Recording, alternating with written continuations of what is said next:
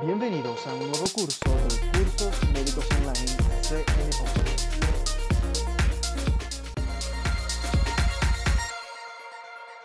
Instructivo Test APGAR.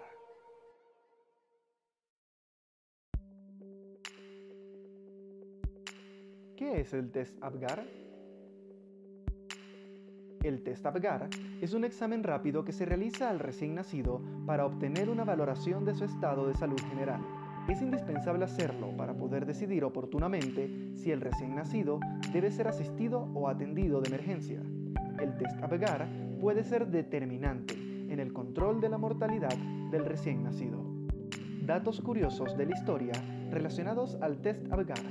La médico anestesista especializada en obstetricia Virginia Apgar desarrolló este test y lo publicó por primera vez en 1953. Desde entonces, se lo considera como parte del protocolo de evaluación de los recién nacidos inmediatamente después de su nacimiento.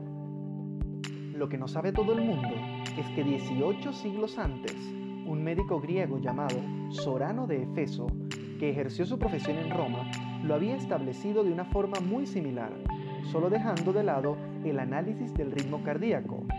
No olvidemos que el sistema circulatorio fue descubierto sino 15 siglos después.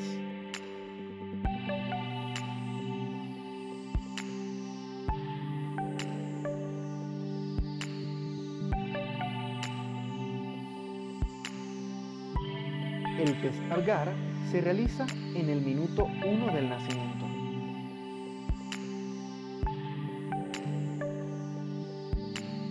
Y se repite en el minuto 5 del nacimiento. ¿Qué más evaluamos en el test Apgar? P. Pulso.